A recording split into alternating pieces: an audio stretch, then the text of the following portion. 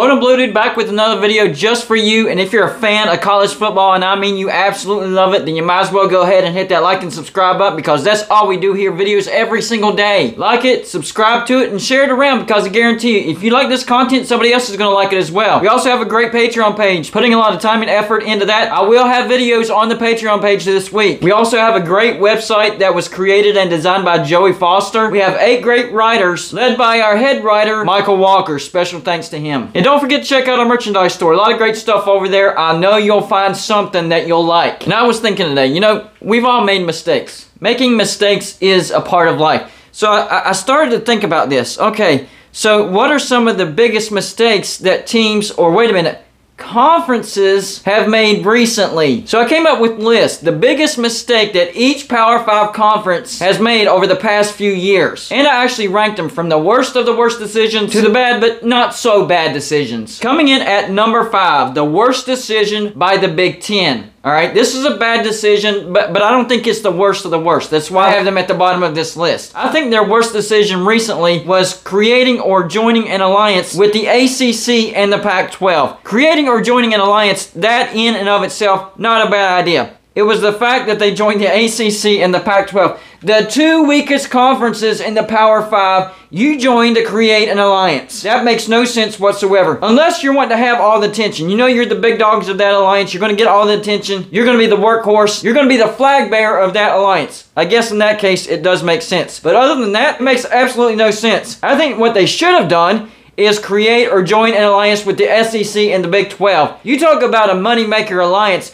That is a moneymaker alliance. Now, I don't know all the politics that went into this. I'm just saying, on paper, common sense tells me that creating or joining an alliance with the SEC and the Big 12 would have been a much better decision than creating or joining an alliance with the ACC or Pac 12, especially money wise. You would have made a lot more money with the SEC and the Big 12. That's just my opinion. Next up on this list, the SEC. Yes, the SEC did make a bad decision, and it was last year. This is going to fall under the conspiracy theory. I've been talking about this since it happened. So I think the biggest mistake that the SEC has made recently was having Georgia lay down for Alabama in the SEC championship game in order for Alabama to make the playoffs. Listen, if Alabama would have lost to Georgia in the SEC championship, they wouldn't have made the playoffs. So the only way for the SEC to get two teams into the playoffs is Alabama had to win. And I think the biggest blunder of this bad decision was it was very noticeable. This game wasn't even competitive. Alabama blew out Georgia. You could tell something was not right. Uh, did Alabama just have Georgia's number? No! Georgia just laid down for them. So I maybe could have bought this. Maybe could have bought this if it would have been a competitive game. But the fact that Alabama blew out Georgia made it unbelievable. Not only did they win, Georgia laid down for Alabama. That's the bottom line. I mean, you look at the 2021 Georgia schedule. Clemson and Charlotte, they won 10 to 3. UAB 56 to 7. South Carolina 40 to 13. At Vanderbilt 62 to nothing. Arkansas 37 to nothing. At Auburn 34 to 10. Kentucky 30 to 13. Florida in Jacksonville 34 to 7. Missouri 43 to 6. At Tennessee 41 to 17. Charleston Southern 56 to 7 and at Georgia Tech 45 to 0. To that point in time, Georgia had allowed a total a total of 83 points in 12 games. And the most points that they allowed for the SEC championship game was 17 on the road at Tennessee, which they still won convincingly 41 to 17. So it's not the fact that Georgia lost to Alabama, it's how they lost to Alabama. 41 to 24? That's like five games worth of points scored in one game against Georgia. That just didn't make sense. And it's not just the statistics. If you watch the game, that defensive line for Georgia was not trying at all. No sacks, no pressure, none whatsoever. Bryce Young had all day long to sit back there and pick Georgia's secondary apart, and that's exactly what he did. So Alabama won the SEC championship 41 to 24. What happened to Georgia after that? Back to domination. They whooped Michigan in the playoff semifinal in the Orange Bowl 34 to 11. And then the national championship, the revenge game, whooped Alabama 33 to 18. Everything that I predicted about the national championship happened. I predicted Georgia to win. Check. I predicted Georgia to win by double digits. Check. And I predicted Alabama to not reach 20 points. Check. And they sacked Bryce Young multiple times. So, yes, nobody will convince me that Georgia did not lay down for Alabama in the SEC championship. That is my opinion, and I'm sticking to it. Bad decision for the SEC, not because of money. I know Alabama got in, and that created more money for the SEC.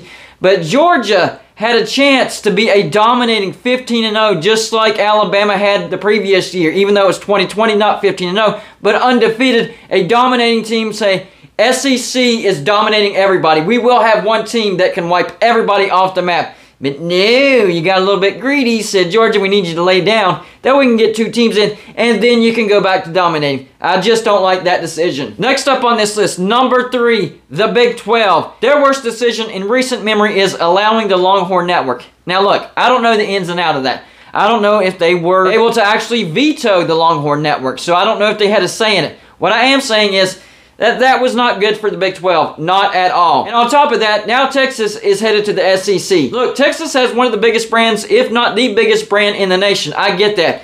But you have got to stop giving them so much power. I mean, year after year, Texas is back, Texas is back, Texas. They haven't been back for over a decade. That's a fact. And I know they do make a lot of money, but you can't let the rest of the conference suffer because of one team. Texas is headed over to the SEC the Big 12 might actually be a better conference with Texas out of the equation. I think a lot more teams are going to have a lot more opportunities to make more money. Longhorn Network was a big problem in the Big 12. It is leaving going over to the SEC, but if the Big 12 did indeed have power to veto that, they should have because that was a terrible, terrible decision. By the way, you can support Gold and Blue Dude through PayPal, and right now every single donation goes towards getting us, all of us, a P.O. box so that you can send a mini helmet of your favorite team to Gold and Blue Dude so I can display it on my shelving in my background forever. Now we're into the power conferences that made some really, really bad decisions. Number two is going to be the Pac-12. And I think one of their biggest blunders was not taking BYU. And a lot of people say it was because of the religion,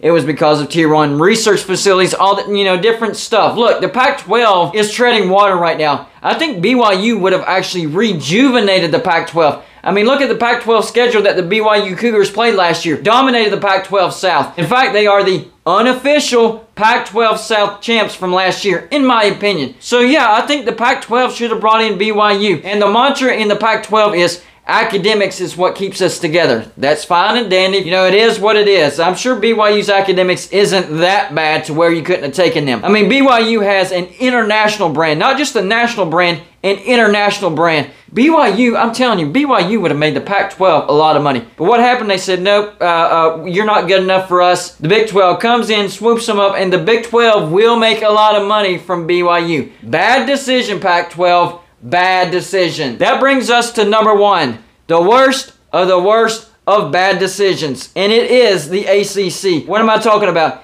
A terrible, Horrible TV deal. Horrific. And it's not just the money, it's they're locked into it until 2036. So they can't do anything about it for over a decade. This is insane. Here's the revenue payout from last year. Number one, the SEC, 54.6 million per team in one year. That is incredible. And I know a lot of things go into that. It's not just the TV deal, but the TV deal is a big part of that. Coming in at number two, the Big Ten, 43.7 million per team in just one year. Again, that's a lot of cake. Number three, this one might surprise you, but it's probably because the lower number of teams. The Big 12, 34.5 million per team in one year. Now, Texas and Oklahoma are going to be gone. BYU, Houston, Cincinnati, and UCF are going to come in. I'm sure they're going to rework that TV deal whenever it expires, and it's going to be bigger because the current TV deal is going to have to be split between more teams. So that means that will be a little bit lower. So I got my eyes on the Big 12 whenever they work their TV deal. And then there's number four, the ACC. That's right, they are not dead last. 29.4 million per team in one year. Dead last is the Pac-12, 21.5 million per team in one year. So why do I have the ACC at number one and not the Pac-12? Well, it's because the Pac-12, I think theirs expires like 24, 25, so in a couple of years. That's why I have the ACC as number one because theirs don't expire until 2036. That is insane. Y'all need better lawyers. That was a horrible deal. You are not good at negotiating and you're going to be paying for it for a while. In fact, your entire conference might end up dissolving because of that horrendous decision. So I don't know what the ACC is going to do that that could have really messed them up to where they're not going to exist for very much longer. We'll see what the ACC does in the near future. Anyways, that's my list of the worst decisions of the Power 5 conferences. Y'all let me know in the comments section, number one, if I ranked them correctly, or number two, if you thought of a worst decision for a particular conference. I'll look forward to your comments. That's all I got for you for this show. Like and subscribe if you haven't already, and I'll see you on my next show.